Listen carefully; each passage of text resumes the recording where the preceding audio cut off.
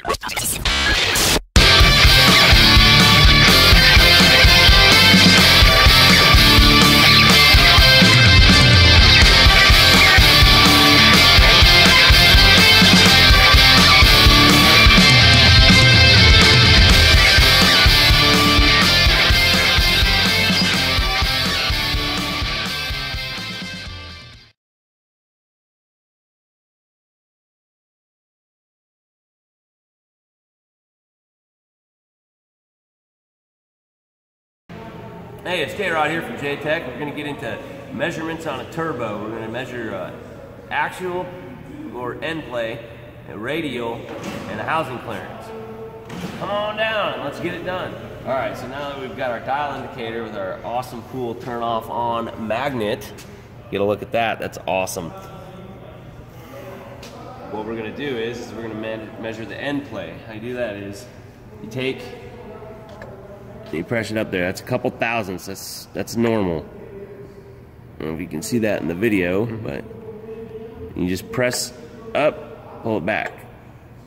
It's about a couple thousandths, which is good. Let's do some radial play. All right.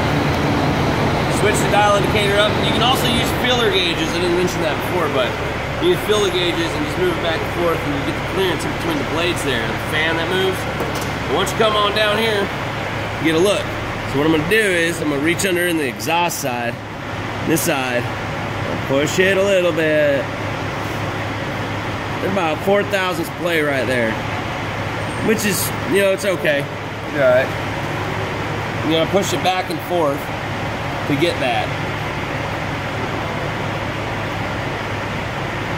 That's within specs, so we're good there. Action! So this is how you're gonna measure your housing clearance. You take your feeler gauge, remove the dial indicator, put it away because it's delicate, you don't wanna break it. You wanna pull this to the side here, I'll pull it this way so you can see it better. Yeah, slide that in there. You don't wanna manipulate it too much. Get in there. Happens to be four thousandths. It's in spec. Good to go. Let's put this baby back in, get the truck on the road, get some goods get delivered, you know what I mean? All right, well, this has been real, folks.